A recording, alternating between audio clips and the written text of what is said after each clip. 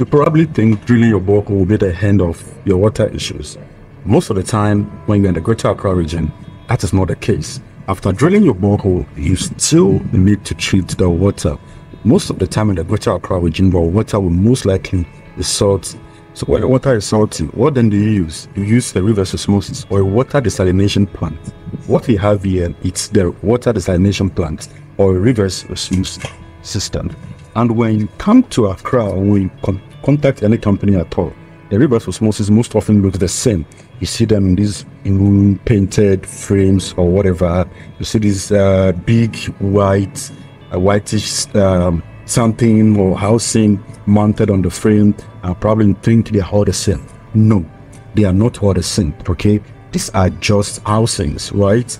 To house the main thing, to house the main uh, gadgets or system or machinery or whatever that desalinate the system.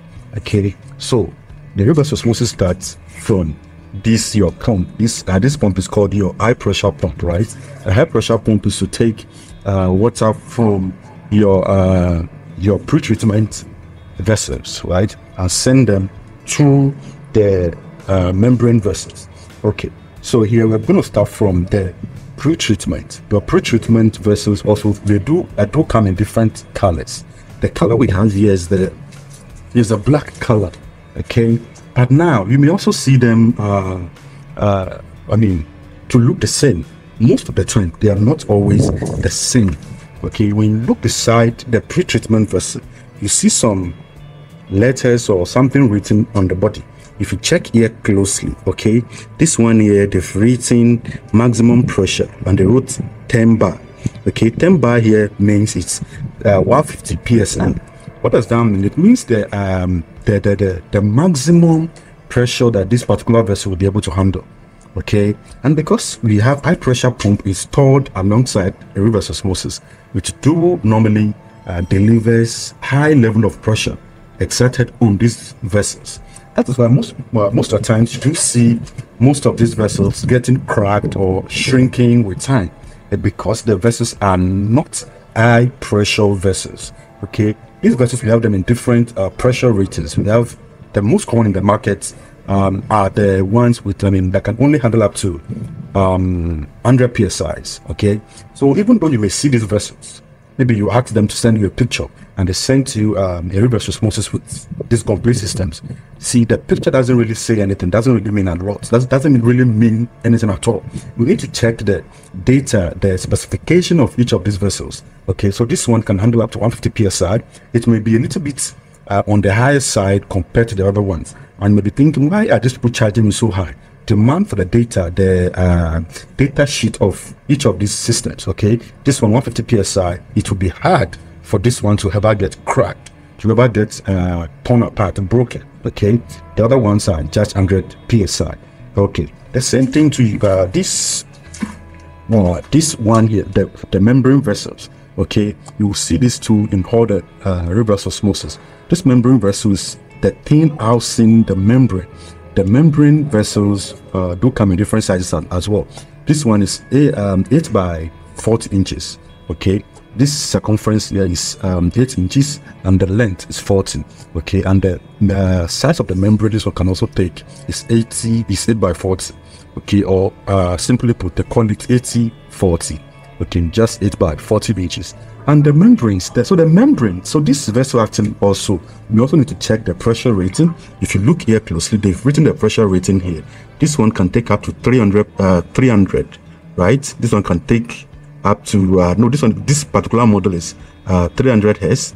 If you check the pressure here, okay, they said the maximum pressure here is 300 psi.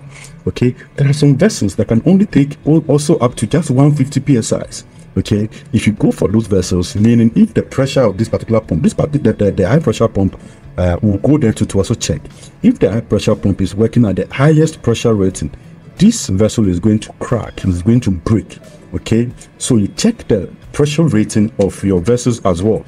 And this vessel also doesn't really mean too much. Okay? You need to consider the kind of membrane they will put in your uh, in the vessel uh, in the past, I've uh, explained how to interpret your water test result. Now, if you look at your TDS level, right, the total dissolved solids in your uh, water test result.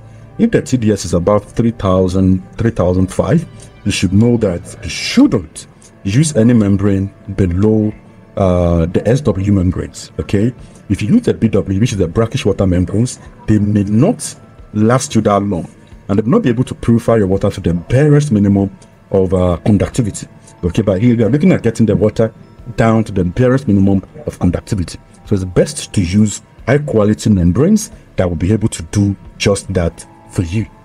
If we move away from here, if you look here, we'll see a particular pump here. This pump here is called your, uh, this pump here is the um, dosing pump, okay? What is the work of the dosing pump? The dosing pump is to dose chemicals into your water, to dose chemicals into this land, okay? Why, why, why, why is this also very important? It's important because, you see, your water here has a whole lot of minerals. And sometimes these minerals may get stuck uh, to the pore, pore or on the surface of the membrane. And this membrane is quite expensive. Then how do we prevent that? We, well, we, we, we, we apply uh, anti-scaling chemicals. Okay, the anti-scaling chemical is what we dose into the water to prevent the scales formation like calcium, magnesium formation on the surface of the membrane. That's the use. That's the use of the uh, dosing pump, just to dose uh, anti-scaling chemical into your into the into the water line before the water gets to your membrane. Now let's quickly now let's come back here. Okay, before we move away from here, this particular vessels houses your media.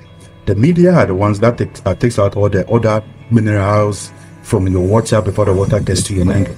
What are we trying to do here? To reduce the mineral content in the water to the, to the, to the barest minimum we can before the water gets to the membrane. All we are trying to do is to only make sure the membrane is only removing the dissolved solids in your water and not something like iron, particulate, uh, sediment, um, uh, sulfur, uh, I mean those other minerals. Okay, so the first uh, the first uh, tank, the first filtration system, do normally uh, comes in different layers of media. So this one is mostly called multimedia system. Right, the multimedia system houses your silica sand, polished silica sand. I mean, also the, the, the gravel, the gravel will come first, then the smooth sand, which will be silica sand, then your activated carbon into here. Make sure the activated carbon you have in here is the high grade one. The um charcoal, I mean, the uh, sorry, the, the the coconut shell based activated carbon, and not the wood based activated carbon okay and make sure the iodine level is um 1100 iodine level it's really really important for the longevity and also the uh, for uh, uh, purity in your water okay you don't want anything i mean uh, to serve as a breeding ground for microbial growth in your water is really really important and carbon is known to actually uh, absorb uh, mi microbes group uh, growth in your in your water so it's really important to use coconut based and not uh, wood based charcoal. In here is going to be your softener, uh, soft, softening system or soft, softener resin. Okay, the softener resins to uh, do comes in different ones, different brand, different uh, premium brands. Okay, the particular one inside here will most likely be the cation resin. The cation resin is to soften your water, take out uh, the uh, hardness causing minerals in your water before the water gets to your membrane. Okay, make sure it's, it's a premium brand. Premium brand brands uh, that will be able to check their data sheet online, not the Chinese brands. If you can get Purolite, you can get Dove, you can get LG, uh, S3 Pure, make sure you go for um, premium brand, premium resins. They are, it's very, very important. Most of the time, those in the US uh, or in the southern, uh, Northern America, or I mean not, not, in American countries, will most likely attach water softener water regeneration system in addition to this tank. Okay, with time, okay, with time, the resin bits here will stop uh, being effective and they need to empty the tank for them to be able to pour new resins into the tank. So it's really important to get good quality resins in there. Now let's go to let's go back to the membranes, okay? let's go back. Okay, the high pressure pump also make sure it's also high quality high pressure pumps. Here we have CNP, right? We have other brands like Shinji. Can even use uh, Grundfos. Ground force is actually quite expensive. If you want to use Grundfos, be uh, be ready to pay be ready to pay more more for that. Grundfos is quite expensive. So let's look for the membrane. Okay, see earlier I mentioned that we have different musical the first particular membrane is actually called the it's actually a Chinese membrane, but in the uh, membrane world, right? This is the most most premium can a personal cleaning and from tired Vontron. And this one is specifically made for seamless. If you check here, you can maybe when you are when you are when you contact uh, the company, tell them to send you the model number for, for read the ones in your reverse space. And here you can read more on this membrane online. Just type uh, SW84 HR-400 Vontron membrane and you'll be able to get all the data and the information uh, you need to understand regarding this membrane before you go for so what am I trying to say? Drilling a borehole is not the total solution to your water issues. A lot of people with boreholes in Accra that are not that wouldn't even be able to use it, that are not using the boreholes because the boreholes are too mineralized, have too much salt, uh, contains iron, and when all these things happen, you won't be able to use them unless you treat the water.